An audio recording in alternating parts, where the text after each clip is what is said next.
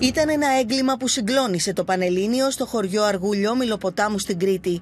Ο 22χρονος Κώστας τον Ιούνιο του 2022 έπεφτε νεκρός μπροστά στα μάτια της οικογένειάς του από τα χέρια ενός 44χρονου άντρα με τον οποίο είχαν σοβαρές οικογενειακές διαφορές που μάλιστα είχαν πάρει το δρόμο της δικαιοσύνης. Οι δύο άνδρες είχαν λογομαχήσει και ο καθένας πήρε το δρόμο για το σπίτι του. Όμως ο 44χρονο δράστης φαίνεται πως ήταν αποφασισμένος να συνεχίσει τη διαμάχη. Μόλις εντόπισε τον 22χρονο έξω από το σπίτι της αδελφής του, έβγαλε το πιστόλι του και μέσα από το αυτοκίνητο, χωρίς καν να βγει από αυτό, πυροβόλησε τον 22χρονο Κώστα τέσσερις φορές από πολύ κοντινή απόσταση. Ο άτυχος Κώστας είχε γίνει πατέρας λίγες ημέρες πριν. Το μωρό του βαπτίστηκε σε κλίμα συγκίνησης και σπαραγμού και μάλιστα πήρε το όνομα του πατέρα του που δεν πρόλαβε να γνωρίσει. Να μεταφερθούμε λοιπόν στα δικαστήρια στην Κρήτη, και όπου βρίσκεται η Κατερίνα Σουλιώτη και όπως σας προανήγγυλα ε, δεν είναι μόνη της. Κατερίνα μου, καλό μεσημέρι. Καλό μεσημέρι. Βρισκόμαστε με την σύζυγο του 22χρονου Κωστή Χαριτάκη, την Γεωργία Δερμιτζάκη, που όπως θα σας πει Ζήνα, ζει, μια, ζει έναν γολγολθά, μια μεγάλη τραγωδία γιατί μεγαλώνει το παιδί μόνη της και την αδελφή του 22χρονου Κωστή Χαριτάκη, τη Βαγγελιό, που ζητάει δικαίωση στη μνήμη του αδερφού της Ζήνα. Κατερίνα μου, πριν τις ακούσουμε, να δούμε το σχετικό ρεπορτάζ που έκανες, γιατί ο συνήγορος υπεράσπισης τους, ο κύριος Κούγιας, βρίσκεται εκεί σήμερα, να δούμε και τι σου δήλωσε, όσο και, και τα άλλα μέλη της οικογένειας και αμέσως μετά να ακούσω τη σύζυγο και την αδελφή του Κωστή Χαριτάκη. Παρακαλώ. Εγώ σήμερα νιώθω μια δεύτερη κινητία του κοπελιού μου. Ελπίζω η δικαιοσύνη να φερθεί λογικά. Αν έχουν παιδιά και αυτοί να έρθουν 10 λεπτά στη θέση μου, θα καταλάβουν πολλά. Ζητώ, ζητώ δικαίωση να σαπηθεί μέσα στη φυλάξη. Τώρα που θα τον αντικρίσετε, που θα τον δείτε, συναισθήματα πώς είστε μέσα σας; Πώς λέμε, ορισμένοι, ούτε ένα συγγνώμη να μην πούλε, ούτε τίποτα. Το εγγονάκι σας, ο Κωστής, που πήρε και το όνομα του Κωστή. Αυτό καλά είναι. Πώς να μεγαλώσει αυτό το παιδί χωρίς τον παπά του; Δεν είναι εύκολο. Θέλω την καταδίκη του. Θέλω τη δικαιοσύνη. Δεν έχω άλλο τίποτα να πω. Το εγγονάκι σας, ο Κωστής; Μια χαρά είναι το παιδί. Εσείς ζήσατε... Στο σπίτι μου μέσα στην ψυχή του. Τον ζήσατε να φεύγει; Στα χέρια μας ξεψήχησε του πατέρα μου και στον αδερφό μου. Ήταν ο φόνος προσχεδιασμένος, προμελετημένος. Αυτή τη μέρα προκαλούσαν με κάθε τρόπο. Πηγαίνανε πάνω κάτω συνέχεια. Και μετά ξαναγύρισε, πήγε πάνω πάνω, έκανε στροφή και ξαναγύρισε χωρίς να του πει καμία κουβέντα, χωρίς να του πει τίποτα. Του άδειασε όλο το πιστόλι. Θέλω δικαίωση για το κοπέλι του. Δίπλα ήταν το δικό μου κοπέλι που σήμερα θα είχα δύο τσιδίε. Ε, ήρθε και δεν είπε ούτε ένα συγγνώμη, δεν είπε τίποτα για την ψυχή του παιδιού του, για την ψυχή του δικού μου κοπελιού, του δικού μου που είχε τον αδερφό μου, πατέρα του, πατέρα του. Γιατί μπορούσε κάλλιστα και το παιδί μου να ήταν στη θέση σήμερα. Δηλαδή, εγώ να είχα δύο τσιδίε. Φασαρίες γινόντουσαν. Τους προκαλούσαν όμως οι ίδιοι. Οι ίδιοι. Μόλις ερχόταν ο αδερφός μου στο χωριό, τον αναποδογυρίζανε τα άντερα. Δεν ξέρω το λόγο. Δεν ξέρω το λόγο. Θέλω δικαίωση να τιμωρηθεί για αυτά γιατί έπαιξε με την ψυχή πολλών. Ε, υπάρχει εμπιστοσύνη στο δικαστήριο. Ψάχνουμε τη δικαιοσύνη μας. Εντάξει. Πιστεύουμε ότι θα τα καταφέρουμε. Μεγαλώνει ένα παιδί χωρίς ε, πατέρα που αυτό σημαίνει πάρα πολλά στην Κρήτη όπου ο πατέρας και είναι ο ακρογωνιαίος λίθος της οικογένειας και τώρα που το παιδί αρχίζει και καταλαβαίνει ορισμένα πράγματα και ζητάει τον πατέρα του υπάρχει μια πολύ μεγάλη δυσκολία. Εκείνο που με έχει σοκάρει στην υπόθεση αυτή είναι η συμπεριφορά του δράστου κατά την απολογία του στον ανακριτή όπου δεν είπε ούτε μια λέξη συγγνώμη. Πολλές που ακόμη και υποκριτικά το λένε και πιο σκληροί εγκληματίες. Και όχι μόνο δεν λέει μια συγγνώμη. Προσπαθεί να μαυρώσει την μνήμη του, του θύματος. Βλέπετε, ούτε, ούτε καν αστυνομική δύναμη μεγάλη δεν υπάρχει, γιατί γνωρίζουν ότι η οικογένεια του θύματος είναι πολιτισμένη οικογένεια. Δεν είναι οικογένεια εγκληματιών. Είναι μια οικογένεια που αγωνίζεται πολύ σκληρά για να επιβιώσει και που πραγματικά το καταφέρνει με τίμιο τρόπο. Να πάμε λοιπόν στην Κρήτη, όπου εκεί η Κατένα Σουλιώτη βρίσκεται με τη σύζυγό του και με την αδελφή του. Αγαπημένη μου Γεωργία, ξέρω ότι είναι πολύ δύσκολο γιατί δεν θα ξεχάσω όταν στο δελτίο μας, στο κεντρικό δελτίο του Σταρ με τη Μάρα Ζαχαρέα, είχες βγει με το μόλις 30 ημερών παιδί σου ε, και πραγματικά ε, μόνο να υποκληθώ μπορώ στη δύναμη της ψυχής σου και να βγεις και να μιλήσεις για τον σύζυγό σου αλλά και να σταθείς όρθια προκειμένου να έρθει η δικαίωσή του. Θα σου δώσω το λόγο. Είναι πολύ, δύσκολο, ε, πολύ, πολύ δύσκολη η αλήθεια ζωής να τη διαχειριστούμε κι εμείς από εκεί, από εδώ. Χάνω τις λέξεις, αλήθεια το λέω και το εννοώ. Δεν έχω χάσει πολλές φορές τα λόγια μου στην εκπομπή, αλλά σήμερα νιώθω πως είναι πολύ δύσκολο το κομμάτι να το διαχειριστώ, γιατί μπορώ να καταλάβω ένα τροχαίο, μπορώ να καταλάβω ε, μια ασθένεια, μπορώ να καταλάβω κάτι, αλλά έτσι να δολοφονούνται σε ένα χωριό δεν μπορώ να το διανοηθώ με τις μεγαλύτερες διαφορές των ανθρώπων που μπορεί να υπάρχουν. Ε, αυτό που έχω να πω είναι ότι από τη στιγμή που ο άντρας μου δεν πρόκειται να γυρίσει ποτέ πίσω, ε, θέλω τη δικαίωσή του. Έχω να, έχουμε ένα παιδί 16 μηνών, το οποίο φωνάζει μπαμπά, βλέπει μια φωτογραφία, φωνάζει μπαμπά και της δεν παίρνει. Ε, οι ανθρώποι αυτοί προκαλούσαν πάντα. Πάντα. Πέρασα μια εγκυμοσύνη μαρτύριο. Ήμασταν συνέχεια ήμασταν, ήταν συνέχεια σε κόντρα. Δε, ε, συγγνώμη, έχω χάσει λίγο τα λόγια μου. Καταλαβαίνουμε. Καταλαβαίνουμε. Ε, θέλω δικαίωση. Θέλω δικαίωση για να αγκαλιάσει ψυχή του άντρα μου. Γεωργία, Αυτό δεν, να σε δεν ρωτήσω να πω. κάτι. Αυτή τη στιγμή ε, μεγαλώνετε ε, όλοι μαζί οικογενειακά να φανταστώ με την οικογένεια του Κωστή Χαριτάκη, του άντρα σου δηλαδή, με τη δική σου οικογένεια, εσύ, το μονάκριβο παιδί σας το μεγαλώνετε, δίνοντάς του έτσι μέσα του να καταλάβει ότι πρέπει στη ζωή του να μην συνεχίσει αυτή τη διαδρομή, την πολεμική διαδρομή, τον μεγαλώνετε με αυτόν τον τρόπο. Γιατί ξέρετε τι γίνεται. Το Εκεί μεγαλώνουμε, όλα. Το μεγαλώνουμε με όποιο... Τον μεγαλώνουμε με τον καλύτερο τρόπο ε, για να γίνει ένας σωστός άνθρωπος να είναι περήφανος ο πατέρας του από ψηλά και να είναι και περήφανος εκείνος για το πατέρα του. Γιατί ήταν ο άντρας μου ένας άνθρωπος που έδινε την ψυχή του σε όλους. Ήταν ο καλύτερος σύζυγος, ο καλύτερος πατέρας.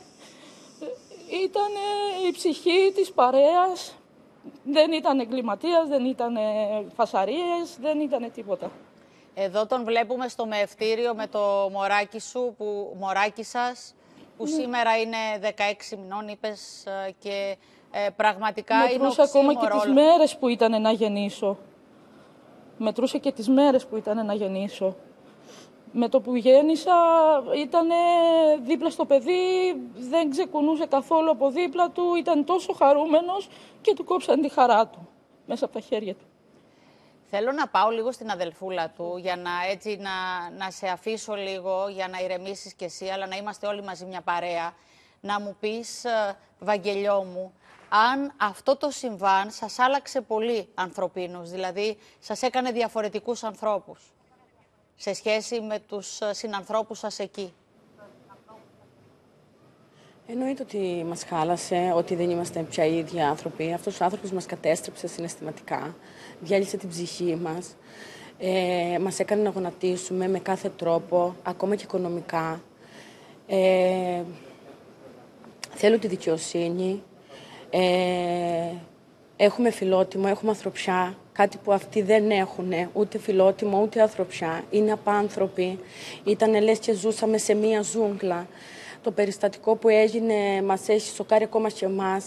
Εγώ δεν μπορώ ακόμα να πιστέψω το θάνατο του αδερφού μου.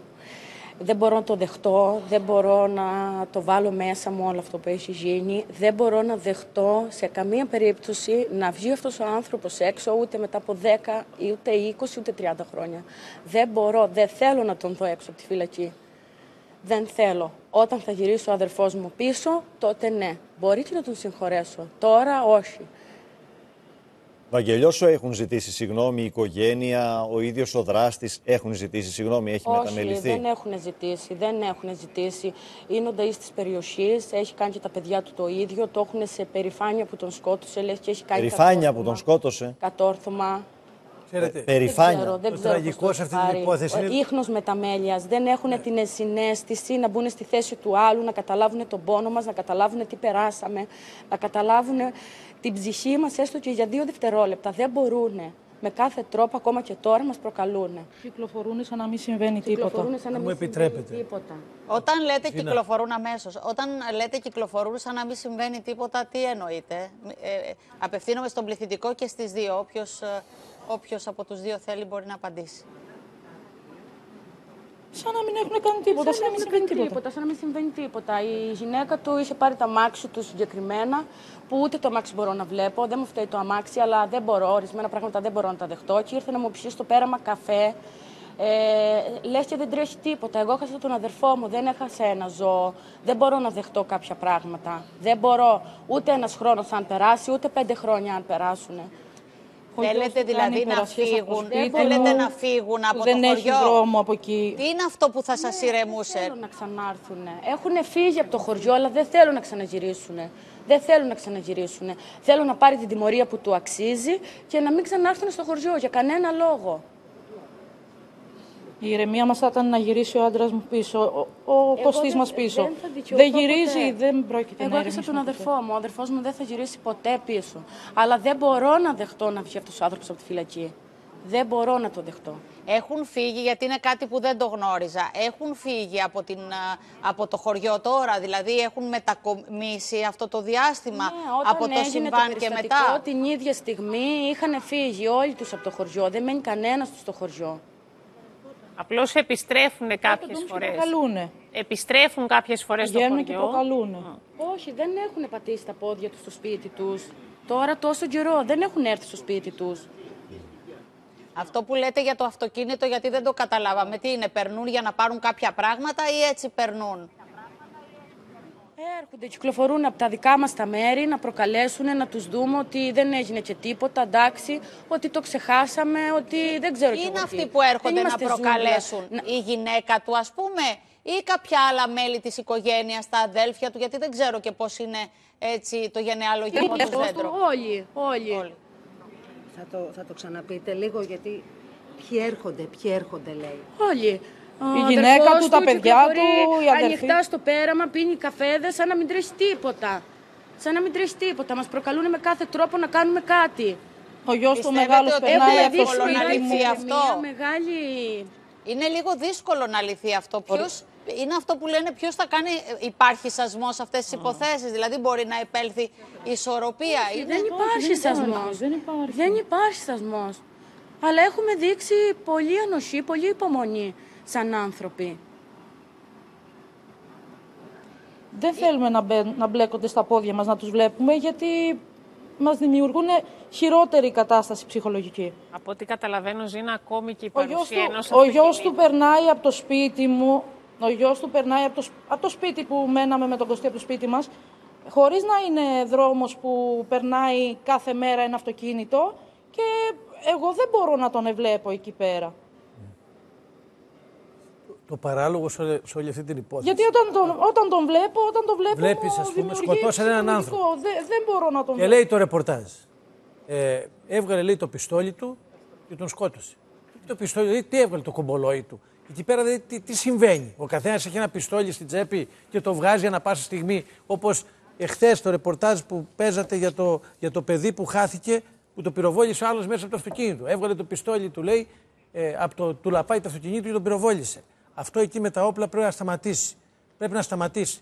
Πρέπει να τελειώνει αυτό το πράγμα. Πάντως η Το- κατηγορία, το πιστόλι Γιώργο, του. η Όπως το κατηγορία- κομπολόι του δηλαδή. Σαν να έχει κανένα κομπολόι και το έβγαλε και το πέταξε να το χτυπήσει. Η κατηγορία του καθομολογία δράστη είναι ε, ανθρωποκτονία από πρόθεση σε ήρεμη ψυχική κατάσταση. Να Και θυμίσουμε εδώ παράβαση ότι πήγε. του νόμου περί όπλων Το που θέμα είναι ότι σημαίνει θα ότι- προσπαθήσουν παρανομόπλο. αυτή τη στιγμή μέσα στη δικαστική αίθουσα. όλα προμελετημένο. Κύριε Μαρακάκη, να το πα- πάνε εν βρασμό. Να θυμίσω εδώ πάντως, Ζήνα, ότι σύμφωνα με το κατηγορητήριο έγινε ο καυγάς και έφυγε, πήγε στο σπίτι του, πήρε το όπλο και επέστρεψε. Θέλω Σε να έρθω σχέση λίγο με την στον κύριο κατηγορία. Μαρακάκη εδώ για αυτό που είπα πριν. Αυτή τη στιγμή είναι η κατηγορία ανθρωποκτονίας σε ήρεμη ψυχική κατάσταση. Α, Εδώ τώρα αυτό που θα μετατρέψει την ποινή είναι ουσιαστικά να αποδείξουν στη δικαστική αίθουσα ότι ήταν εμβρασμό. Καλά. Ε, Δεν υπάρχει Εγώ αυτό το πρέπει- πράγμα. ναι. Αυτό το Γιατί πράγμα, στην πρώτη. Έχω διαβάσει τις δικογραφίες. Στην πρώτη δικογραφία ε, λέει άλλα ο κατηγορούμενος, ο, ο αδερφός του και η μαμά του. Στη δεύτερη, στη συμπληρωματική, που σ- σίγουρα τον έχει συμβουλέψει δικηγόρος, έχουν πει άλλα πράγματα για τον αδερφό μου. Που κάτι Ναι. τέτοια δεν ισχύουν Ωραία. και Εμβρασμό. πιστεύω. Ένα- Μαρακάκη. ένα- Ε, Εμβρασμός. Πιστεύω Ένα λεπτό, ότι ένα όλοι λεπτό, θα Γιώργο. καταλάβουν Ένα ότι λεπτό. ψέματα. Μοιράσω λίγο το λόγο να Εντάξει, ακούσω. ε, εγώ όχι. Πρώτα απ' όλα, επειδή εγώ, εγώ χθες το βράδυ γύρισα από τα Χανιά γιατί δίκαζα άλλο κακούργημα χθες εκεί. Δεν και- είμαστε ζούγκλα να βγάζει το Έτσι. πιστόλι μέσα από τα μάξι να του παίζει. Έτσι, λες τι, και τι ήταν εμβρασμό. ένα ζώο. Με τη χρήση Ε. όπλου. Παράνομου όπλου. Ωραία. Ε, Δεν ήταν εμβρασμό. Ο αδερφός μου δεν κρατούσε όπλο, δεν, το- δεν λογοφέρανε. μίλησε καν. Δεν μιλήσανε καν μαζί. Για να Ό,τι μην- έγινε, έγινε με τον Για να αδερφό μην- του. να, να μην υπάρξει και. Να δηλαδή, μην υπάρξει παρανόηση, να πούμε ε, πώς το εννοούμε. δεν δηλαδή δεν μπλεκόμαστε. έχει σχέση. Πρώτα απ' όλα, να μην, δεν, θα, δεν, δεν είναι σωστό νομίζω να αναφερόμαστε οτιδήποτε ουσιαστικό αφορά τη- την υπόθεση η οποία δικάζεται τώρα. Ε, είναι εξαιρετικά δύσκολο και είναι πολύ εξαιρετικές και συγκεκριμένες περιπτώσεις που μπορεί να αποδειχθεί ότι ένας άνθρωπος σε μη ήρεμη ψυχική κατάσταση, που έχει έρθει δηλαδή εκτός συνείδησης από ένα περιστατικό ή από συνθήκες που τον έφεραν εκτός αυτού, ε, μπορεί όχι να δικαιολογηθεί, αλλά να οδηγηθεί σε κάτι τέτοιο αποτρόπαιο και να υπάρξει μια ε, υπιότερη μεταχείριση. Θεωρώ ότι εν προκειμένου, αυτή είναι προσωπική μου άποψη, θεωρώ ότι εν προκειμένου δεν πληρούνται αυτές οι προϋποθέσεις. Ο άνθρωπος αυτός έφυγε άδικα. Δυστυχώς, επειδή κατάγομαι από εκεί, υποφέρουμε συνέχεια ε, από το γεγονός ότι ο μέσος κριτικός είναι περήφανος στο ότι έχει στην κατοχή του νομίμως ή μη νομίμως όπλο ή όπλα, ότι γίνεται χρήση των όπλων χωρίς να σκεφτούμε, είτε σε γλέντια, είτε σε βαφτίσια, είτε όταν θυμώσουμε, φοβούμε ότι δεν θα υπάρξει ποτέ πραγματική εκεχηρία, κύριε Καλιακμάνη, διότι αυτό είναι ένα έθιμο, ε, όχι η παράνομη οπλοφορία και οπλο- οπλοχρησία, η κατοχή όπλων, δυστυχώς, για δεκαετίες, ακόμα και στα σεντούκια των γιαγιάδων μας, υπήρχαν όπλα και ο μέσος κριτικός ή κριτικιά ήταν περήφανος που είχε αυτό το όπλο. Είπατε κάτι πολύ σωστό προηγουμένως. Εγώ θεωρώ ότι δεν θα έχουν παράπονο για ατιμορρησία τα κορίτσια, η σύζυγος και η αδερφή του αδικοχαμένου νεαρού. Τρελαίνομαι που σκέφτομαι ότι αυτό το αγοράκι μεγαλώνει χωρίς πατέρα. Εκεί είναι. Όμως πραγματικά πιστεύω και επειδή γνωρίζω και τους δικαστές που δικάζουν σήμερα ότι και τα πράγματα θα τοποθετηθούν στη σωστή τους διάσταση και θα ήθελα να πιστεύω ότι αυτό το αγοράκι θα μεγαλώσει πραγματικά για να κάνει περήφανο τον πατέρα του και να μην είναι δηλητηριασμένο για να δώσει οποιαδήποτε συνέχεια σε αυτή την τραγωδία. Να μην χρησιμοποιηθούν όπλα στο μέλλον. Έτσι. Αλλά αυτό που λέγαμε πριν για το εμβρασμό είναι ότι τι προσπαθεί κανείς να πει μέσα στη δικαστική αίθουσα, ότι, όχι τι αποδεικνύεται. Πώς προσπαθούν κάποιοι άνθρωποι από την άλλη πλευρά ε, να, κατα, να καταπέσει η ποινή. Προσωπική μου άποψη είναι ότι δι- πολύ δύσκολα θα αποδειχθεί ότι ο δράστης προκλήθηκε ή ότι βρέθηκε εκτός αυτού ε, από δεδομένα και από παράγοντες ε, οι οποίοι δεν οφείλονται στον ίδιο. Πάντως κύριε Μαρακάκη, σύμφωνα με τις πληροφορίες, ο ισχυρισμός του ήταν ε, ότι ε, θίγει η μνήμη του νεκρού πατέρα του. Γνωρίζω και τις γι' συνθήκες και, αυτό και καλ- αντέδρασε. καλύτερα ξαναλέω να μην μπούμε σε κάτι ουσιαστικό για μια ε, ε, δίκη, η που οποία, είναι η σε οποία είναι σε εξέλιξη. εξέλιξη και μάλιστα τώρα. Κάτι ήθελες Γιώργο μου, δεν ξέρω αν θέλεις κάτι να συμπληρώσεις. Και έλεγα πώς μπορεί να δικαιολογήσει τον εμβρασμό. Δεν θα μπω εγώ στη συγκεκριμένη υπόθεση. Δικάζει το δικαστήριο. Όταν έχεις όπλο και σφαίρες. Γιατί το έχεις το όπλο ή τις σφαίρες; Για ποιο λόγο το έχεις; Για άμυνα; Είμαστε σε κάποιο πόλεμο; Όλη αυτή η κατάσταση αδικεί την Κρήτη. Αδικεί τους κριτικούς, οι οποίοι είναι πολύ φιλόξενοι άνθρωποι και τη φιλοξενία του, των κριτικών την έχουμε αντιληφθεί όλοι μας. Όποιος έχει πάει στην Κρήτη έχει δει ότι αυτός ο κόσμος είναι πολύ φιλόξενοι και ντόμπροι Πάντως, άνθρωποι. Γιώργο μου, Όλο αυτό μετράμε αδικεί. συνεχώς Ο, ο Βασίλης ο θύματα. Σκουλάς έχει φάει σφαίρα στη, ε, στο πόδι και δεν, ε, δεν σταματάει τη μουσική του όταν πέσει ένας πυροβολισμός. Τους λέει ας πούμε ότι αν ρίξετε ένα πυροβολισμό εγώ φεύγω και φεύγει γιατί έχει φάει σφαίρα ο άνθρωπος. Δηλαδή αδικεί όλο αυτό το πράγμα. Όπλα παντού. Έβγαλε το πιστόλι του. Έβγαλε το κομπολόι του, δηλαδή το πέταξε. Έβγαλε το πιστόλι του. Ο καθένας έχει στην κατοχή του ένα όπλο. Είναι τραγικό όλο αυτό το πράγμα. Όταν έχει στην κατοχή σου ένα όπλο και σεβρασμό ψυχικής ορμής Γιώργο μπορεί μου, εύκολα να το χρησιμοποιήσει. Επειδή πρέπει να αποδεσμεύσουμε τους ανθρώπους εδώ που είναι στην παρέα μας, εγώ θέλω να πω στη Γεωργία και στη Βαγγελιό ότι αυτή τη στιγμή υπάρχει μια συγκεκριμένη κατάσταση. Και δυστυχώς το, το δυστύχημα είναι ότι αυτοί οι άνθρωποι συμβιώνουν στο ίδιο χωριό.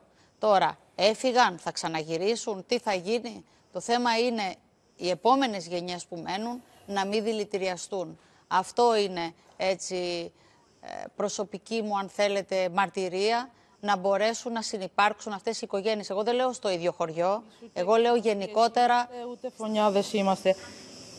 Δείξανε ποιοι είναι οι φωνιάδες και ποιοι είναι οι εγκληματίες. Εμείς τα δίκιο παιδιά σε μας θα τα μεγαλώσουμε με τον καλύτερο τρόπο. Έχετε δίκιο σε αυτό. Μέχρι εκεί δεν έχω να, να Έχεις προσθέσω δίκιο, κάτι Γεωργία άλλο. μου. Έχεις δίκιο.